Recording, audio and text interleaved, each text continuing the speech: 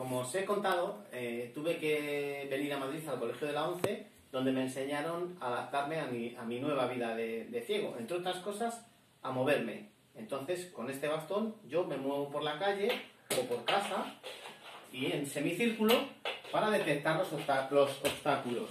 Y entonces ya, pues ahí con el bastón los detecto y los esquivo. ¿Veis? Pues esto es, con el bastón es con lo que me muevo yo por la calle para ir de un sitio a otro.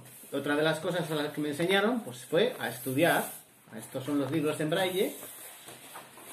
No sé si habréis visto alguno, pero esto es, mira, ponen así en braille y aquí lo ponen, por ejemplo.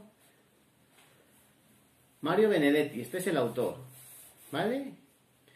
Y pone cuentos. Son unos cuentos de Mario Benedetti. Aquí pone desde la 11, sección literatura, etcétera. Aquí ya pone la imprenta y esas cosas. Es, eh, hay que leer con las manos, siempre se lee de derecha a izquierda.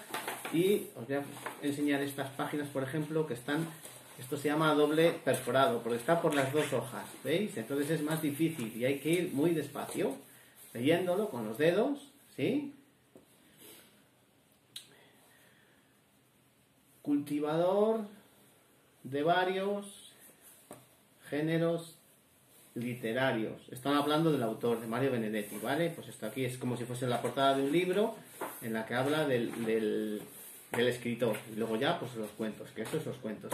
Pues eso es, así se lee, incluso pues libros que vosotros ahora mismo estáis estudiando, pues de matemáticas o de lengua, pues también hay en braille, más cosas. Ah, esta es una pauta, así es como escribo yo. Eh, lo difícil de la escritura es que hay que hacerlo así manualmente y hay que escribir de derecha a izquierda. Se escribe de derecha a izquierda para luego, cuando se da la vuelta, se lee como vosotros. De izquierda a derecha.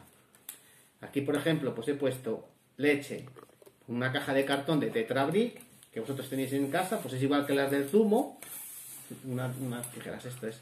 Pues para yo diferenciarlo, podría poner esta etiqueta en el Tetrabric de leche. Se pega y ya puedo diferenciar cuál es la leche y cuál es el zumo. Así, pues me, me puedo yo defender con todas las cosas de casa o en el trabajo y saber cuál es cada cosa con el braille. También un calendario, que es un calendario en braille. Septiembre, aquí pone septiembre, el mes de septiembre. Este es agosto, claro, aquí los días. Lunes, martes, miércoles, jueves, viernes.